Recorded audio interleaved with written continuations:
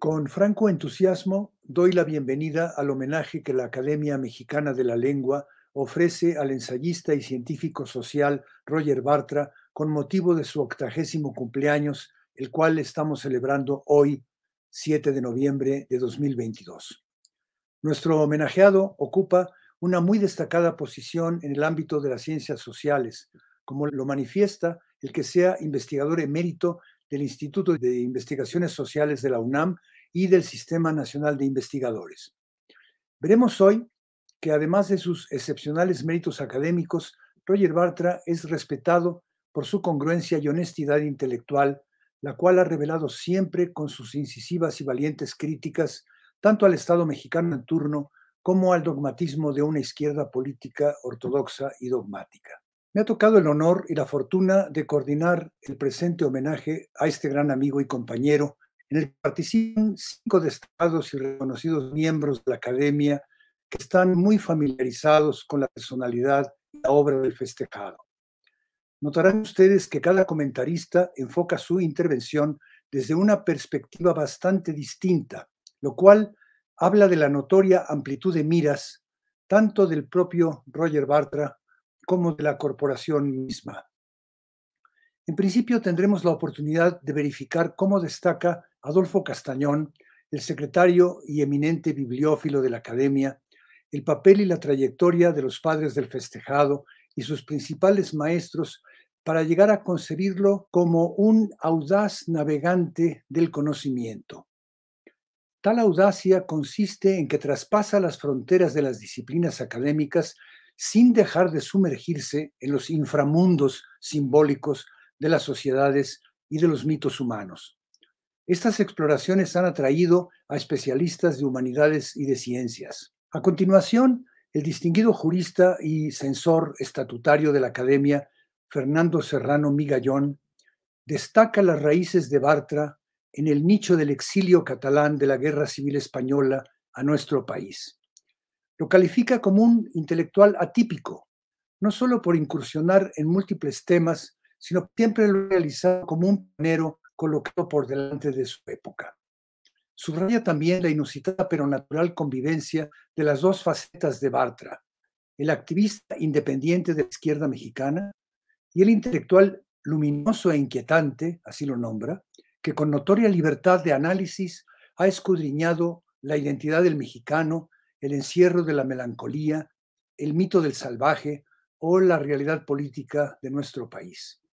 Veremos luego cómo Jesús Silva Herzog Márquez hace gala de su proverbial y original capacidad de analista político para definir que Bartra ha penetrado en los territorios de todas las disciplinas sociales y de algunas de la biología, pero con fidelidad persistente a un singular tema de fondo, la legitimidad del poder político basado en un imaginario social, más que en un determinado sistema económico o electoral.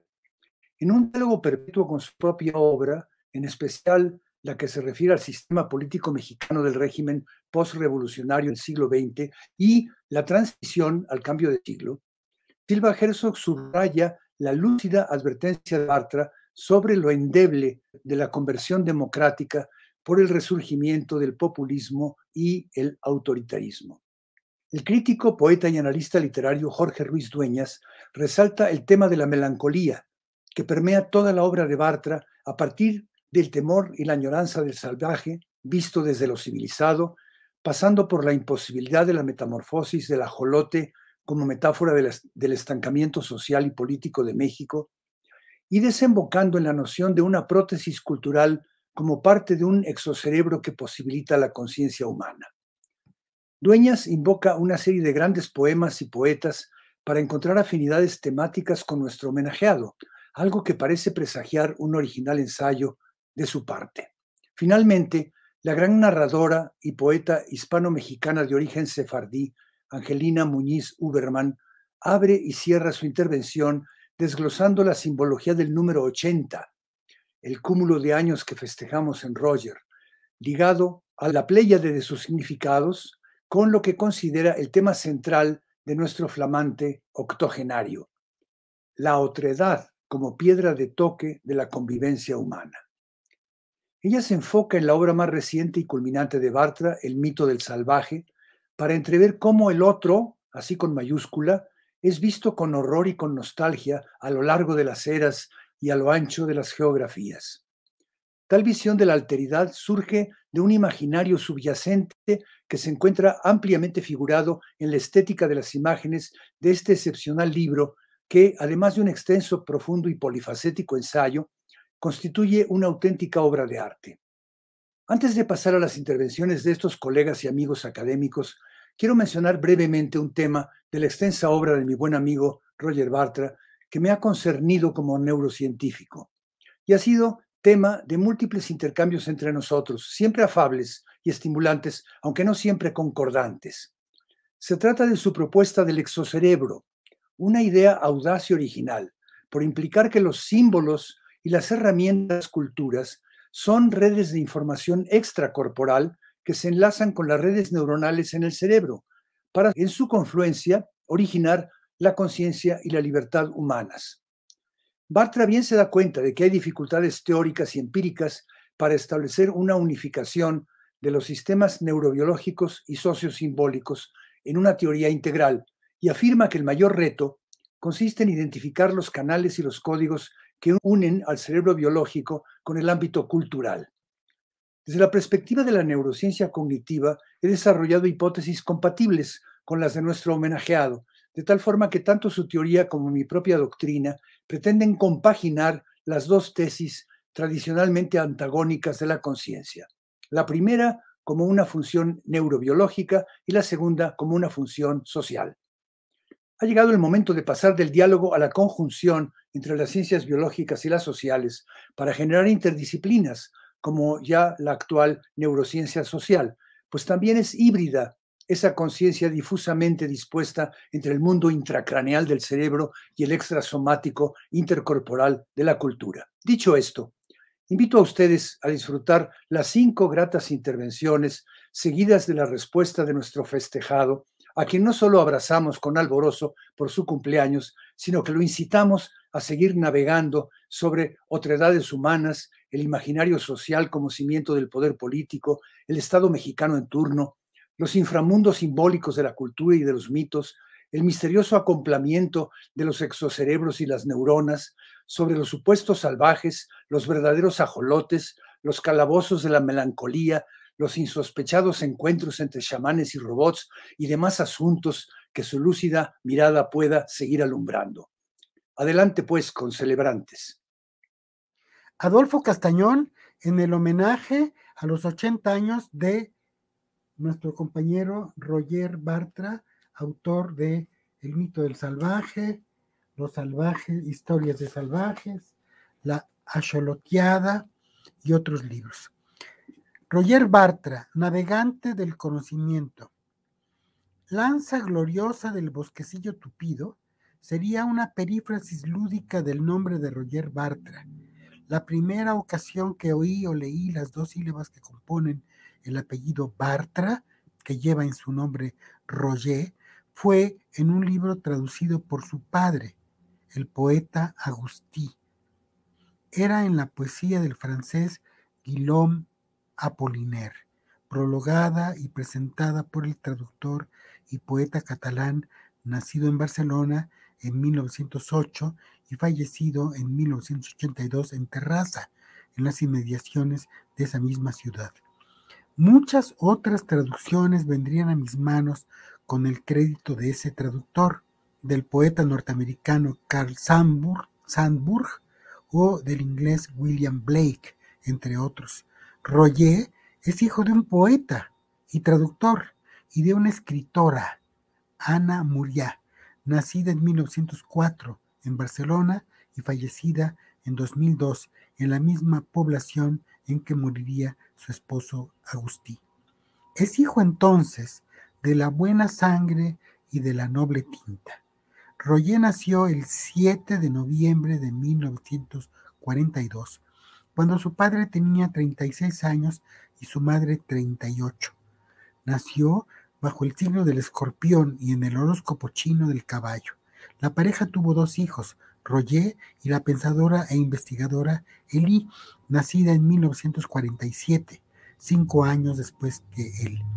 Mientras que el pulso del nacimiento y la destrucción, de la muerte y del amor, sella el signo del arácnido temible, escorpión, el caballo abre las puertas a la libertad y a la creatividad. Agustí venía de una familia catalana noble y culta, y su obra poética y como traductor se alojó en un archivo que su viuda legó a la comunidad en Barcelona. Agustí, como Ana Muriá, tenían fuerza y carácter militantes. Así lo muestran sus vidas y obras como escritores. Eso no les impidió dar una sólida formación a sus hijos, ni enseñarles desde niños a convivir con el mundo, la historia, las letras y la naturaleza. Roger Bartra es un hombre de varios mundos. Nació bilingüe en catalán y español. Perdió esta lengua cuando de niño acompañó a sus padres a Estados Unidos, pues Agustín había recibido la beca Guggenheim. Al regresar a México, luego de algunos años, tuvo que aprender español de nuevo, pero como ya había aprendido inglés, se vio beneficiado con un mundo múltiple, de múltiples dimensiones. Su primera vocación fue la de arqueólogo. Su maestro fue José Luis Lorenzo, quien a su vez era discípulo del ilustre Gordon Child. Lorenzo fue decisivo en la formación del inquieto Roger Bartra en aquella escuela de antropología de México. Después de estudiar la carrera de arqueología, decide estudiar etnología, aunque siguió tratando a su maestro Lorenzo, interesado también, por cierto, en la geología.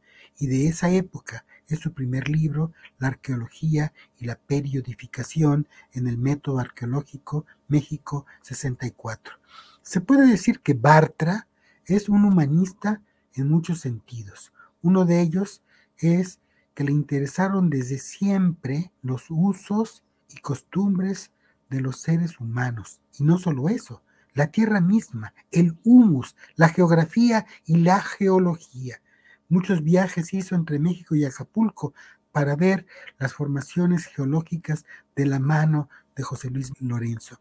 Otros maestros suyos, más en un plano familiar y amistoso, pero no menos decisivo, fueron los dos poetas y críticos catalanes, Ramón Chirau y Manuel Durán, quienes eran muy amigos de sus padres y con quienes Roger Bartra tiene afinidades profundas, intelectuales y espirituales. A principios de los años 60, entre 60 y 61, los padres de Roger, Agustín y Ana, se fueron a vivir a New Haven y ahí Roger aprovechó para ir a Nueva York, donde asistió al surgimiento y florecimiento de la cultura beat. Se alojó en casa de un pintor catalán, amigo de sus padres, Josep Bartolí, a quien considera uno de sus maestros, y de hecho, el gusto editorial palpable en las ediciones de sus diversos libros. Tengo aquí en la mano El salvaje en el espejo y la antología maravillosa El ajolote, el ajolote, se debe a este artista plástico Bartoli. Bartra, Royer, ha andado por muchos caminos, hombre de muchos caminos. La arqueología, arqueología y sociedades antiguas, la sociología, las redes imaginarias del poder político, la filosofía, antropología, el mito del salvaje, antropología del cerebro, la melancolía moderna, digitalizados y apantallados, cerebro y libertad, la política, la fractura mexicana, territorios de terror y otredad, regreso a la jaula, la historia, ajoloteada, vida y mito de un anfibio mexicano y se ha asomado a temas a la par diversos y constelados por un aire de familia. La neurología no le ha sido ajena, como lo sabe bien don José Luis Díaz Gómez, que coordina este homenaje. Roger Bartra es fiel al dicho clásico, nada humano me es ajeno, y nada está fuera de su mesa ni de su horizonte y firmamento ni el cine, ni la neurología, ni la política, ni la cibernética, ni el arte, ni las letras. Todo forma parte de su navegación intelectual. Siempre me ha llamado la atención la capacidad de diálogo que tiene Roger para medirse con las distintas circunstancias por las que va atravesando, con los distintos representantes de esa circunstancia y para agrandarse y achicarse en relación con su interlocutor. En ese sentido, la personalidad de Roger es una personalidad eminentemente plástica y eminentemente receptiva, viva, atenta al interlocutor, atenta a lo otro. Más allá, pienso en Roger Bartra como una especie de navegante del conocimiento que va atravesando fronteras imaginarias y conceptuales por arriba de la superficie y por abajo de la superficie oceánica, llevando la fronda de su visión articulada a cada uno de los territorios que toca, imantándolos, magnetizándolos, además como si fuera un chamán. Además, a Roger Bartra le gustan las palabras, las frases bien hechas, los argumentos impecablemente expuestos como en un juego de billar, las esferas, la construcción conceptual como una forma de conocimiento y el diseño intelectual y tipográfico, como muestran muy bien la organización de sus libros, donde siempre hay una dimensión estética. Pero esa inclinación a la contemplación y fragua de formas perfectas, como puede ejemplificar el hermoso, notable, abismal, devorador, el mito del salvaje, se acompaña en su caso con otra virtud, una valentía del que sabe ver lejos, pero sabe además cómo decir a quienes lo rodean, a sus coetáneos y contemporáneos, los otros, las formas en que la ciudad y lo civil se ven distorsionados por la cascada de las fastas y nefastas efemérides políticas e históricas. El mito del salvaje, en ese sentido, es un ejemplo de la forma en que de ahí baja a los sótanos y subterráneos de la cultura. Y no es gratuito entonces que se encuentre el ajolote para traer de su expedición un texto que es un tesoro, pues Roger nos ayuda a entendernos mejor. Gracias, querido Roger Bartra, larga y fecunda vida más allá de estos 80 años. Hablar de Roger Bartra cuando cumple 80 años es un reto. Es un reto porque es un intelectual mexicano de altísimo prestigio, pero un, intelectual atípico, con características especiales que no se repiten, que yo conozca en un otro intelectual de nuestro país. En primer lugar, por su origen. Él nació en la Ciudad de México, es mexicano, pero es hijo del exilio español. Sus padres, exiliados españoles ambos, formaron parte de ese contingente de españoles que llegaron entre 1937 y 1949 en un número no precisable entre 18 y 20 mil.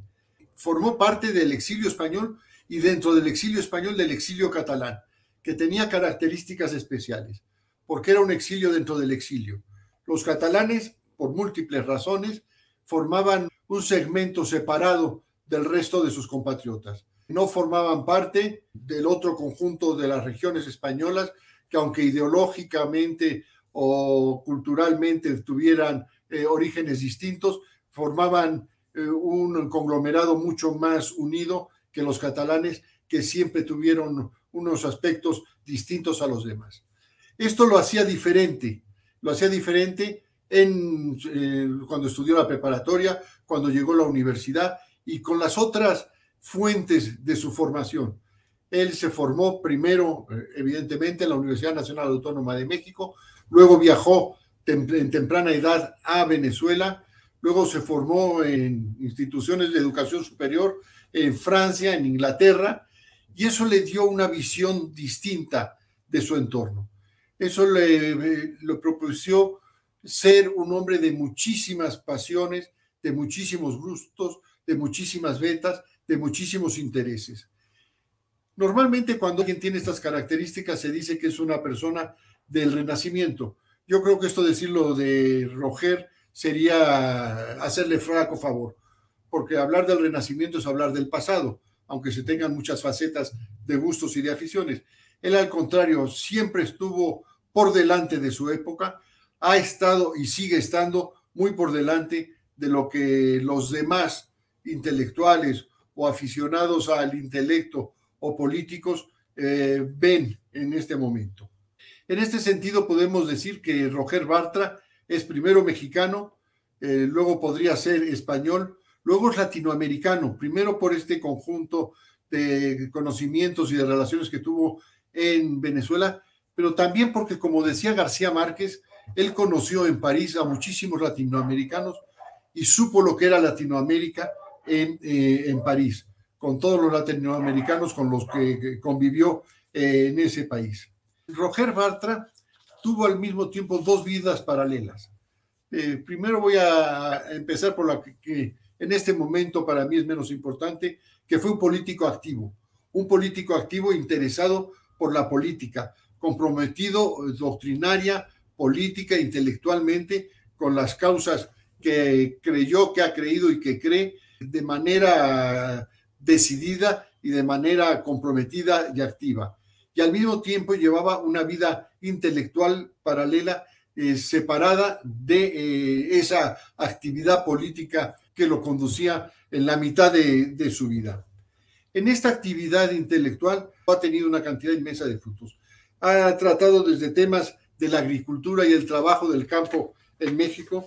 Después uno muy importante, sobre todo en él, que tenía esta faceta de múltiples visiones de la identidad del mexicano. Luego nos ha hablado de manera insigne y original de la jaula de la melancolía.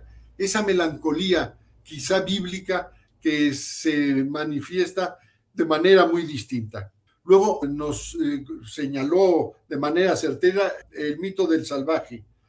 Luego un texto muy interesante que es esa melancolía, pero en la España del siglo de oro. Luego habló de neurología, su relación con el cerebro y con el funcionamiento cerebral. Y después, cómo no, si él que ha sido un eh, político activo, cómo no iba a analizar el sistema político mexicano. Un sistema político que por mucho que se haya estudiado, se fue creando por el azar de los eventos de la vida cotidiana mexicana a partir de 1929 fundamentalmente hasta el año 2000 con características peculiares, irrepetibles, y yo considero que si hubieran sido intencionadas, tampoco se podrían haber llevado a cabo. Es un sistema eh, complicado, con muchas facetas, con muchas aristas, con unas eh, posiciones muy interesantes y que han sido, son, y yo creo que seguirán siendo por mucho tiempo, motivo de un análisis de un sistema político peculiar que durante 70 años dio muchos frutos, aunque eh, también con muchísimos defectos que se han visto a la, a la postre. Estas diversas raíces de su conocimiento le han dado una mayor objetividad en el análisis de los temas. Eh, ha podido actuar eh, como actor principal en muchísimos escenarios, como jefe de compañía teatral. Estuvo identificado con varias realidades, realidades americanas y realidades europeas que conoció y conoce perfectamente y de las que tiene un conocimiento preciso y unas opiniones siempre, siempre atendibles.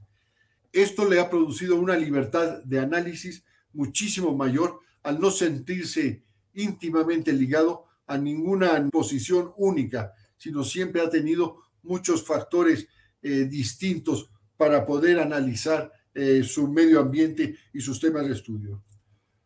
Por el contrario, esta actividad de libertad y de objetividad por encima de puntos concretos le ha dado una posición que no es agradable. Él ha sido considerado extranjero en todos los, lugares. En España se le considera mexicano, en México se le considera español, en Europa se le considera americano y en América se le considera un intelectual fundamentalmente europeo. Pero lo que siempre ha sido y es, es un intelectual luminoso y sobre todo un intelectual inquietante. Siempre que se leen sus libros, que se le oye hablar, deja en el espíritu de quienes lo escuchamos y de quienes lo leemos un sentimiento de eh, duda sobre el futuro, sobre la duda de nuestras circunstancias y sobre los temas que la analiza. Por todo ello, nuestra gratitud a Roger. Agradezco a la Academia esta oportunidad de, celebrar a, Roger Bartra, sin lugar a duda uno de nuestros académicos más eminentes y, más queridos. Y me gustaría abordar eh, en esta ocasión eh, algunos aspectos de las reflexiones políticas de Roger Bartra. Es inmenso el arco de las reflexiones de Roger Bartra las retóricas de la identidad, la música de la melancolía, el cuento del salvaje, los laberintos del cerebro, apuntes del antropólogo, de crítico literario, de sociólogo, de neurocientífico. No son las suyas, desde luego, libretas herméticas, sino espacios de polinización cruzada, descubrimientos y conjeturas que viajan de un dominio a otro, esquejes que van de la literatura a la política, de la pintura a la psiquiatría. Pero detrás de la aparente dispersión del herpetólogo que puede examinar las branquias del ajolote para después disecar los parlamentos de Calderón de la Barca, hay una constancia notable, una lealtad a sus asuntos. Preguntas que nunca alcanzan la respuesta definitiva. Bartra regresa una y otra vez a sus temas para verlos con una nueva luz. A lo largo de los años ha entablado un diálogo fructífero consigo mismo que lo lleva a retomar constantemente sus motivos antiguos y recientes. No regresa a ellos para reiterar, sino para reconsiderar. Rafael Rojas lo resaltaba hace unos años en un comentario a la sangre y la tinta. Roger Bartra decía, es uno de los pocos intelectuales mexicanos que en el medio académico de las ciencias sociales ha logrado dialogar consigo mismo, desdoblándose en autor y crítico, escritor y lector, sujeto y objeto de su permeable meditación antropológica. Sin ir más lejos, podemos leer, por ejemplo, su libro político más reciente, El regreso a la jaula, como un proceso de reescritura. El ensayista, en efecto, se lee para acentuar y para corregir, para advertir errores y omisiones, para enfatizar hallazgos. La política es, sin duda, uno de los caminos en los que ha insistido. A lo largo de los años se ha dibujado en sus ensayos no solamente una crítica política, sino también una teoría de la política. Se trata de una filosofía fragmentaria del poder que va y vuelve a una de las grandes interrogantes, la legitimidad. ¿Dónde se asienta el permiso de gobernar? ¿Cuál es el fundamento de la obediencia? El poder, sabe muy bien Roger Bartra, no se justifica a sí mismo. La dominación llama a la fábula, el hecho convoca al mito. Lejos de ser efecto de una superioridad física, es una persuasión o tal vez un embelezo. El poder hechiza la imaginación y en ella se sostiene. El estado más que condensación de fuerza es una red de significados, una malla que sujeta la obediencia en espejismos. El poder esculpe un nosotros, inventa un pasado común, señala al otro que amenaza, traza los linderos de la pertenencia, ofrece una pista del futuro.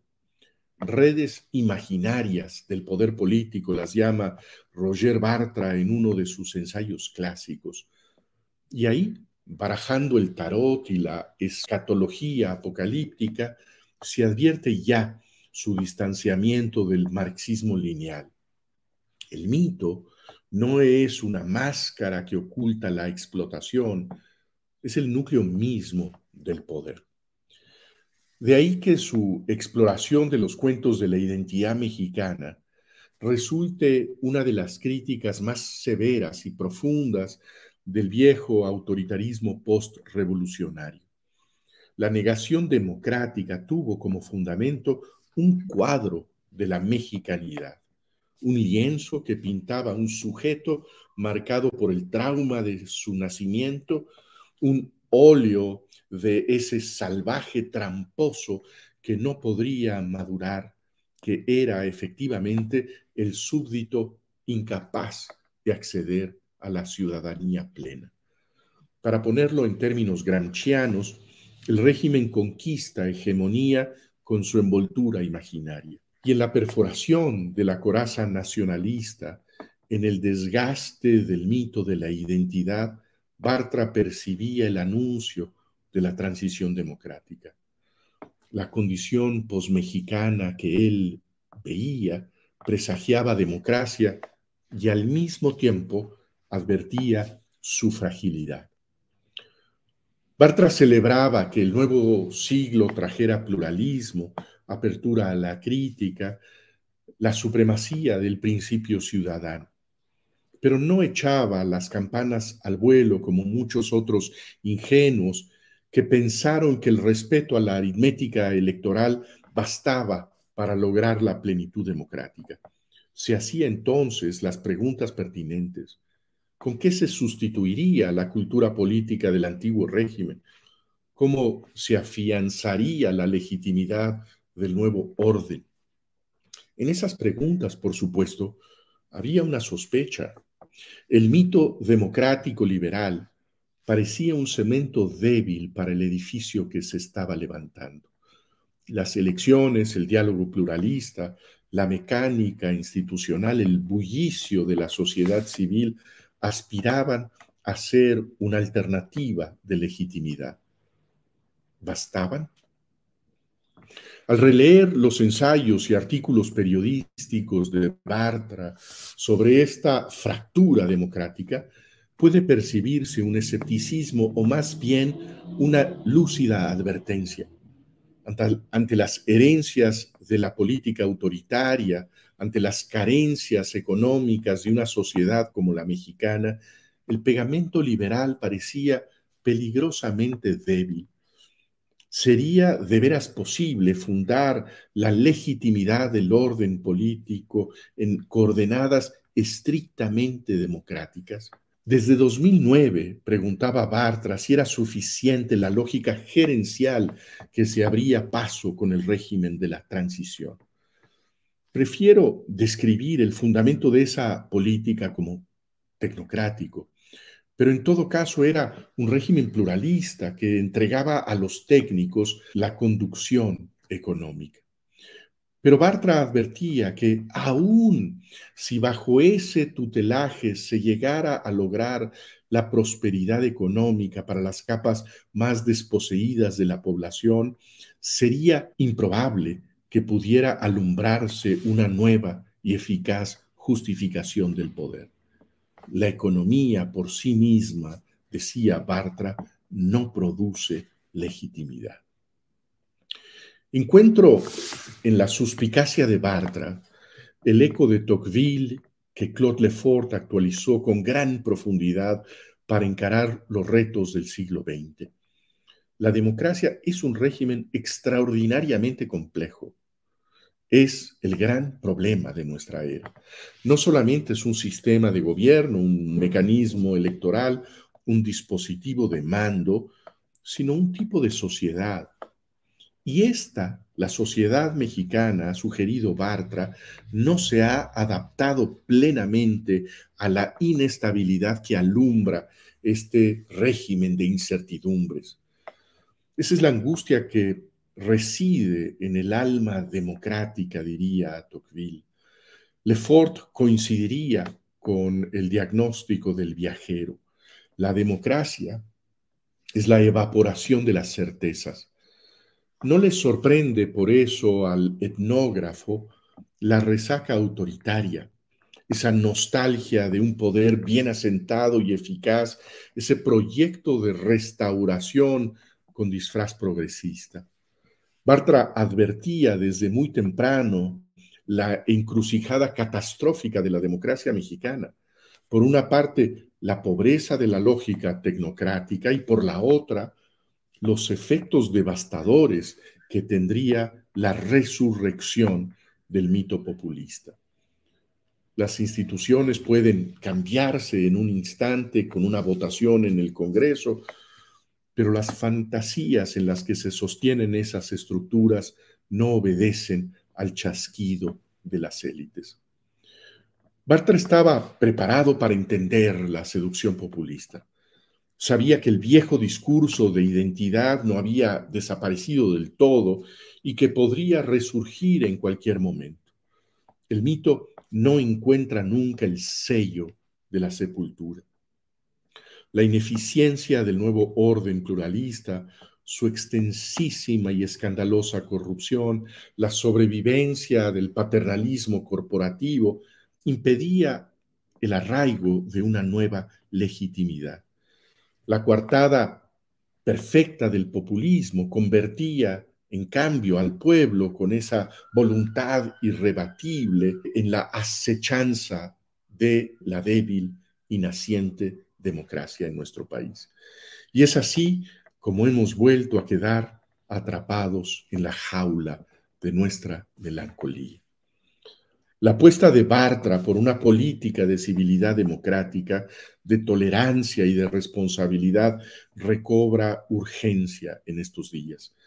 La inteligencia de ese arqueólogo de mitos no deja nunca de ser también una inteligencia anticipatoria. En los ensayos de Bartra hay una invitación constante a sumergirnos una y otra vez en la sombra del futuro. Esa es nuestra condena, lanzar como Sísifo la pesada piedra hacia el futuro sin acertar para recogerla de nuevo y volverla a empujar. Muchas gracias. La primera ocasión que escuché el nombre de Roger Bartra fue por sus célebres progenitores en 1968, referentes catalanes de la literatura, el poeta Agustí Bartra y la narradora Ana Muría. Nuestro homenajeado nació como buen heraldo el mismo día que se daba a conocer el libro de relatos de su padre, La estrella sobre el muro de esa convivencia con las letras, de la lectura temprana de géneros diversos, estilos e idiomas, surge la limpia prosa de este notable científico social, no exenta en ocasiones de humor que hace más accesible la visión crítica de la cultura contemporánea en sus ensayos. Por esas coincidencias dispuestas a hacernos dudar del azar, hemos compartido en nuestros propios senderos con algunas figuras del exilio español y ello tiende lazos de camaradería aunados a mi admiración y reconocimiento. Esto es así porque la suya es una progresión del pensamiento analítico sin cesura, desde los primeros escritos hasta la actual y renovada edición de El mito del salvaje. Bartra se ha interesado por los procesos sociales y sus efectos sobre la vida pública, en otros términos, sobre nuestras propias vidas. Es un etnólogo y sociólogo, sin restricciones para incursionar en otros campos, amparado por un genuino y desinhibido enfoque pluridisciplinario, incluida la neurociencia. Pero en todo caso, su interés por la igualdad no ha sido menor a su interés por la libertad. De ahí que, a sus investigaciones iniciales sobre el agro mexicano, siguió la evisceración de los procesos del poder y las formas postdemocráticas de mediación que desembocaron en su obra las redes imaginarias del poder político. Tales postulados los aplicaría también a la realidad nacional en diversos títulos centrados en la transición democrática. Pero antes, antes hizo una reflexión crítica sobre la identidad nacional mexicana con una metodología diversa a las proclamadas desde los fundamentos ideológicos ya canónicos. Así, la jaula de la melancolía es una aportación orientada a sacudir las imposturas legitimadoras del Estado mexicano y sus estereotipadas formas de dominación despótica, plenas de lugares comunes y mistificación. Mariposa de sueño, te pareces a mi alma y te pareces a la palabra melancolía. Escribió Pablo Neruda Y estos versos parecen replicar lo que Bartra ha encontrado como representación no solo de nuestra idiosincrasia nacional, sino antes aún del orbe occidental en la formación del Estado moderno prefigurado por Federico II de Trinacria. Luego, entroncaría con el mito del salvaje que, como la arena, se arrambla en los umbrales de todas las naciones. Así, sobre el pasado remoto, el Homo silvestris medieval, heredado por los senderos de los mestizajes culturales, nos hace recordar la epístola de Haji ibn Jaksan, hijo viviente del despertar, escrita por Ibn Tufail y sus secuelas europeas. Pero Barta no ha aportado un punto de llegada, sino proclama un punto de partida y así lo entiende en la expansión de sus pesquisas. La amplitud de esta perspectiva le permite articular interpretaciones no solo de la cultura, sino de la historia, sin desplazar su interés por los seres humanos de nuestro titilante presente. Su libro Antropología del Cerebro, la conciencia y los sistemas simbólicos contempla la expansión de nuestras capacidades cerebrales hiperconectadas ahora con prótesis provenientes de la novedad tecnológica que él llama exocerebro. Esa artificialidad también ahonda las brechas de desigualdad, porque muchos son excluidos así de este presente líquido donde los conocimientos de la posmodernidad avanzan más rápido que nuestra capacidad de asimilarlos. Más allá de los hitos científicos propiciados por sus abordajes, debemos agradecer a Roger Bartra los hallazgos de lo que parece una melancolía inercial, una condición mental mórbida y la nostalgia del salvaje interior al auspiciar en el ámbito literario la posibilidad de otra mirada a diversas obras, sin despojarnos de la afinidad estética antes adquirida, pero ahora desde una perspectiva honda y dinámica. Que estos textos han jugado un papel político, mediador en los términos aludidos por Bartra, solo a manera de ejemplos, es ostensible en la Chanson de Roland, epopeya toral para la conformación nacionalista francesa, una historia fingida que, sin ceñirse a la ucronía, trasunta una trama de espalda a los hechos. Siglos después, esa melancolía edénica no resulta menor en los diez cantos de Oslusíadas, donde el sujeto de la épica es el pueblo portugués en un tornaviaje a manera de Odisea, colmado por la saudade de los descubrimientos del imperio. En la América nuestra, Facundo se ajusta a las coordenadas de Bartra sobre lo que se pensó como civilización o barbarie en las pampas argentinas, sin la profundidad temporal de nuestra Terra Nostra, pero con efectos análogos. Las razones explícitas o implícitas del sentimiento de excepcionalidad de los estados-nación, sobre todo en su papel legitimador, tienen en el caso estadounidense el trasfondo de Walt Whitman, un poeta investido con la toga democrática, pero siempre arropado en forma cautelosa para no mostrar los hechos de su relativa vocación democrática que desemboca en el destino manifiesto. En contraste, nuestra suave patria nos dio en Ramón López Velarde al poeta nacional y un movimiento plástico cuyos murales se asientan en puntos históricos aptos, diría Bartra, para el incienso y la tinta. Sin duda, esta nueva perspectiva de efectos dialógicos tendría limitaciones excluyentes si obviáramos las categorías de análisis proporcionadas por un Roger Bartra lúcido e incisivo, de quien hoy celebramos con regocijo su aniversario, esbozando la enigmática sonrisa de la Xolotl, metáfora de lo nuestro.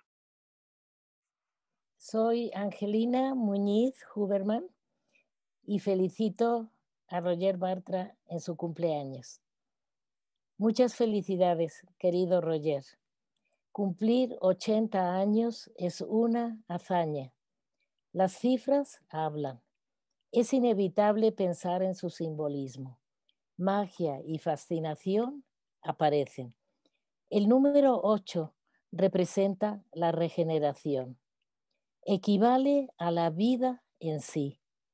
Es una figura intermedia entre el cuadrado o la tierra y el cero es el círculo o la eternidad. Si tomamos el 8 y lo acostamos, es la representación del infinito. Por su forma, alude a dos serpientes enlazadas y equivale al caduceo. Es el equilibrio de fuerzas opuestas o el poder espiritual sobre la naturaleza. El cero, por su parte, nos recuerda al uróboro. Principio y fin abrazados.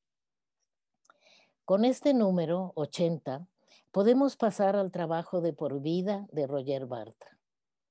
Si ha llegado esta edad con la publicación total del El mito del salvaje, es la perseveración de una idea obsesiva que como tal se perfila, se contempla, se afina en múltiples ópticas y en sorprendentes perspectivas. El hombre salvaje en su mito para unos y otros. El salvaje visto siempre en el otro sin darse cuenta que el otro es el otro para el otro.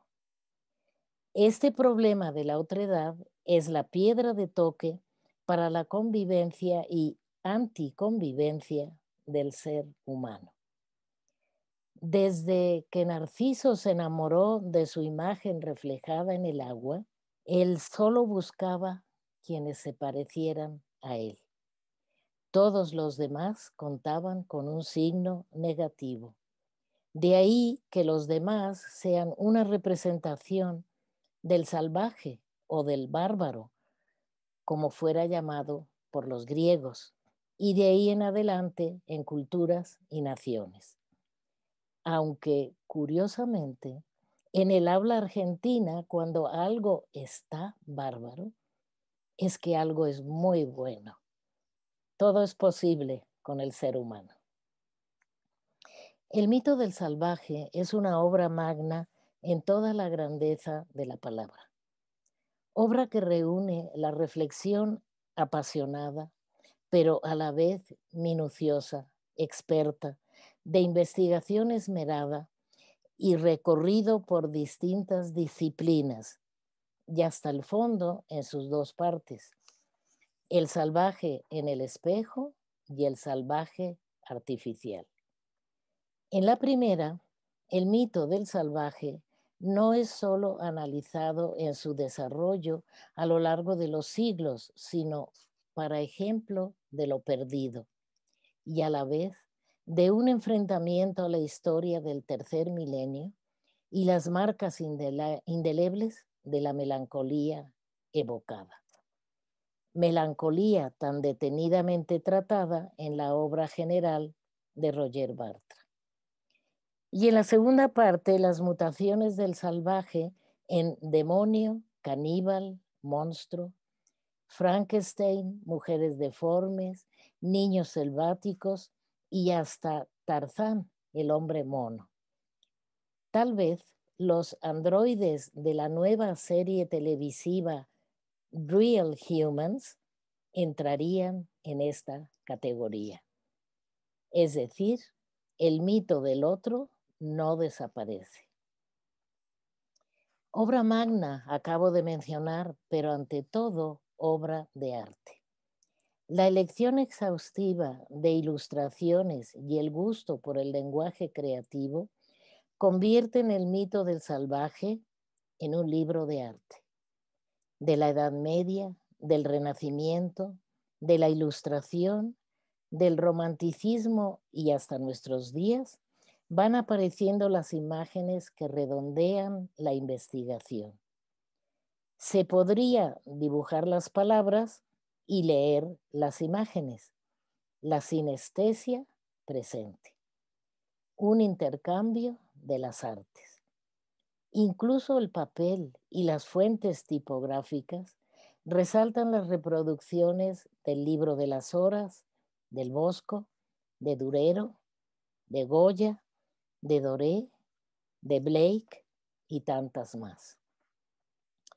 No sé si sería mucho exagerar, pero la condición de exiliado, de emigrante, del que viene de fuera, sigue llevando en sí una marca, como la de Caín, de salvaje.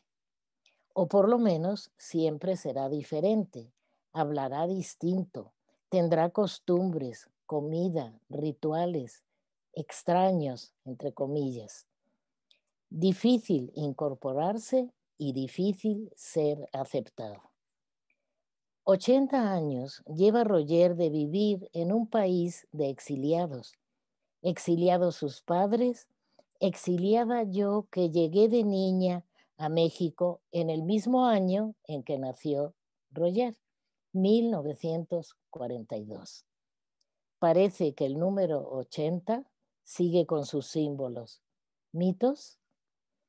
El mito y la melancolía. He ahí la clave de la obra de Roger Bartra. Términos ambos que abarcan lo imposible y lo deseado, lo deslizante y lo misterioso, las múltiples variantes, explicaciones, tesis, para llegar a la conclusión de que tal vez solo la poesía se acerque a abstracciones abiertas al mundo imparable de la imaginación. Después de todo, lo que no puede comprobarse es lo atractivo y la lucha que se opone para llegar a entender.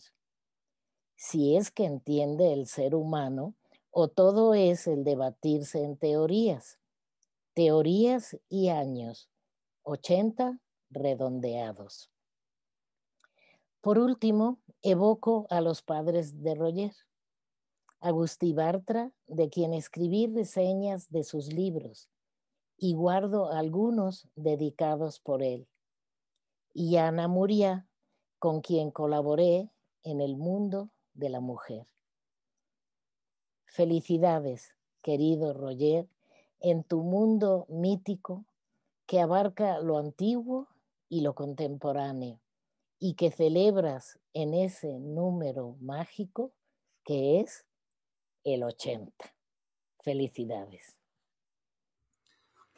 Me da un enorme gusto llegar a los 80 años acompañado de la inteligencia y el aprecio de mis queridos amigos de la Academia Mexicana de la Lengua, compañeros de aventuras intelectuales con quienes comparto muchas ideas y emociones y a quienes admiro por su creatividad. A José Luis Díaz le debo su preciosa, preciosísima ayuda cuando comencé a internarme en su territorio, la neurología, donde me recibió con los brazos abiertos. Me guió en el laberinto cerebral y toleró con paciencia mis audazas y errores. Con mi querido amigo Fernando Serrano Migallón, comparto la experiencia del exilio español, del que venimos ambos y que nos ha unido estrechamente, así como la vida universitaria que nos ha llevado a coincidencias muy enriquecedoras. Con Angelina Muñiz Huberman comparto también el mundo del exilio de los republicanos españoles y, sobre todo, le debo la lucidez de sus ensayos y la agudeza de su poesía, un apoyo firme en tiempos de desasosiego. La obra y la amistad de Jesús Silva Herzog han sido desde hace años una inspiración que me ha abierto las puertas de esferas del pensamiento que me permitieron percibir dimensiones desconocidas para mí le debo a la poesía de Jorge Ruiz Dueñas el deleite de atravesar mares de palabras en busca de nuevas melancolías. Adolfo Castañón me ha orientado con su tremenda erudición y su creatividad cuando he transitado por los senderos literarios que también conoce. Y me ha impulsado a internarme sin temor y apoyado en su amistad en el mundo de la ensayística.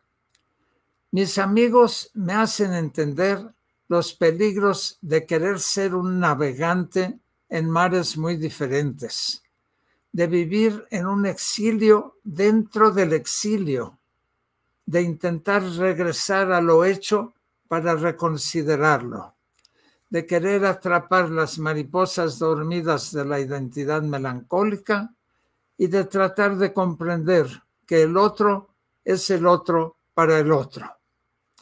A veces me entra miedo de haberme perdido en este dédalo, pero tengo la suerte de que los amigos me tienden la mano para darme ánimos y proseguir aún en esta avanzada edad. Desde luego, al cumplir 80 años, me siento obligado a mirar al pasado.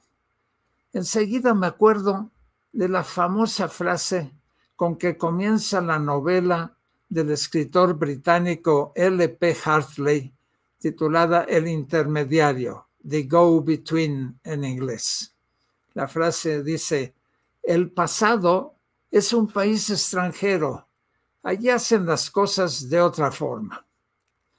Esta novela fue llevada al cine por Robert Lucey, el gran director, con un guion de Harold Painter y con la bella actriz Julie Christie. Hace un tiempo decidí asomarme a mi pasado con esa misma pregunta. ¿Vivíamos mis contemporáneos y yo en un país extranjero? ¿Hacíamos las cosas de otra manera? La contestación a mis dudas la consigné en una autobiografía que se acaba de publicar titulada Mutaciones. Allí usé antiguas cartas mías y viejas entrevistas para observar cómo se hacían las cosas en ese país extraño que fue el pasado de mi vida intelectual. Pero ahora prefiero mirar, sea por unos segundos, al futuro para anunciarles la próxima publicación de un libro. Se trata de un ensayo que utiliza el mito del hombre lobo para llevar a los lectores a reflexionar sobre el mal. Encarna el mal en algunas personas, se enraiza el mal en las sociedades, en las culturas, en las naciones. El escritor israelí Amos Oz dijo algo inquietante para que nos dedicamos a la sociología y a la antropología. Dijo, las ciencias sociales modernas fueron el primer intento serio de eliminar el bien y el mal del escenario humano. Amos Oz explicó que el bien y el mal fueron sustituidos por la idea de que la causa de todo son las circunstancias sociales, las luchas políticas o los intereses económicos. Para pensarlo a la manera de Hannah Arendt, ¿acaso mi libro es una exploración de la banalidad del mal cuando cristaliza en un mito popular? Detrás de la guerra, de la tortura, del asesinato y de la crueldad, ¿acaso no hay unos hombres lobo demoníacos y sedientos de sangre, sino unos humanos banales en los cuales hay un vacío, una ausencia de bien. Pensar en este fragmento del futuro muy próximo, que se publicará en breve, me anima a seguir escribiendo. Tengo ya muy avanzado otro libro, pero hoy mantendré en la oscuridad su contenido hasta otra ocasión. Termino agradeciendo, muy conmovido, lo que han expresado mis amigos de la Academia Mexicana de la Lengua. No tengo suficientes palabras para agradecérselo.